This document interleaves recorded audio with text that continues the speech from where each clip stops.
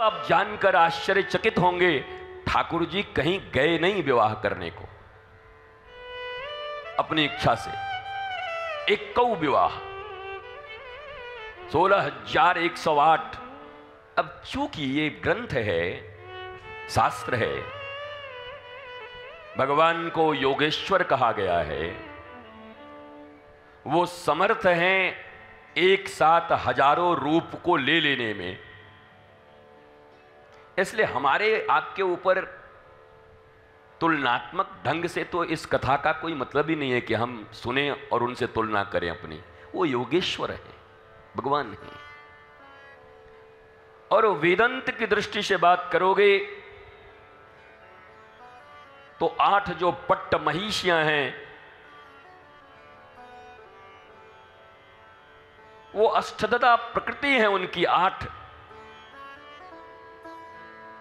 और सोलह हज़ार एक सौ नाड़ियों के ऊपर नियंत्रण का इन आठ महत प्रकृति के द्वारा जो प्रयत्न होता है, अब वेदांत, सिद्धांत, आप सब विद्वान लोग हैं, समझते रहिए। जन साधारण तो यही समझता है कि सोलह हज़ार एक सौ आठ विवाह किया ठाकुर जी ने। और इसी से हैरान परेशान रहते हैं कि हमारा कैसे होगा। हमारो तो एक ना ही समर रहो है महाराज? ठाकुर जी को इतनों कैसे समर गयो? तो अनंत लोग आनंद लेते रहते हैं। कोई कहता है, उन्होंने गिरिराज जी उठाया, तुम सौ किलो उठा लो। ऐसे पत्थर उंगलियों पे कमर टूट जाए, दो किलो आलू लाके तो सोफा पे बैठ जाते हैं दम से। बोले, हम आलू लेके आए दो किलो। तो तुलनात्मक तो कोई बात है ही नहीं। देखो, भगवान की कथा का श्रवण करते समय उससे क्या क्या लेकर तुम्हारे जीवन में आनंद, आह्लाद, साधना बढ़ेगी, दृष्टि ये होनी चाहिए। परीक्षक बनकर जो लोग आते हैं, वो कंफ्यूज होके चले जाते हैं। पहले ही से कंफ्यूजन इतना घर में पड़ा हुआ था। कितने लोगों के ऊपर शक था, जेठानी चोरी कर रही है। ये नई वाली जो आई है, उसने ही गड़बड़ किया है। सासू माँ को भड़का रही है। बेचारे का जीवन इतने कंफ्यूजन में है, वो कथा पांडाल में आके और कंफ्यूज हो जाता है। ठाकुर जी को ऐसे नहीं करना चाहिए था। इतना विवाह कैसे हो गया? तो उसको कैसे छोड़ दिए? यहाँ पर ये कैसे लिखा हुआ है? ये तो नहीं करना चाहिए था। और कंफ्यूजन अरे भैया, तुम यहाँ कंक्लूजन लेने आए हो। जीवन में जितने कंफ्यूजन हैं समस्याएँ हैं, उनका समाधान यहाँ व्यासपीठ से होता है। तो व्यासपीठ भी अगर तुम्हारे लिए एक समस्या बन जाए तो अब क्या किया जाए?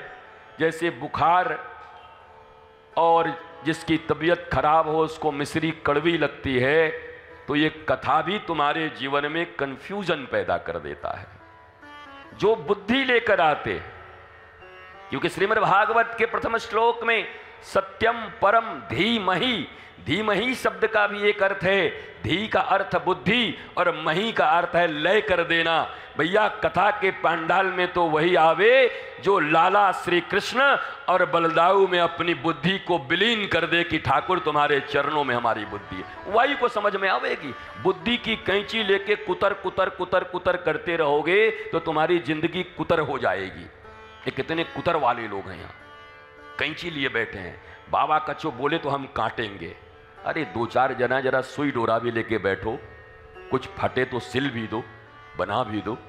तो सब कैंची लेके बैठे। ये बोले तो हम काटें, धर्म बोले तो हम काटें, भागवत कहे तो हम काटें, गीता कहे तो हम काटें। काटते काटते खुद ही कट जाएगी तुम्हारी एक दिन ज़िंदगी।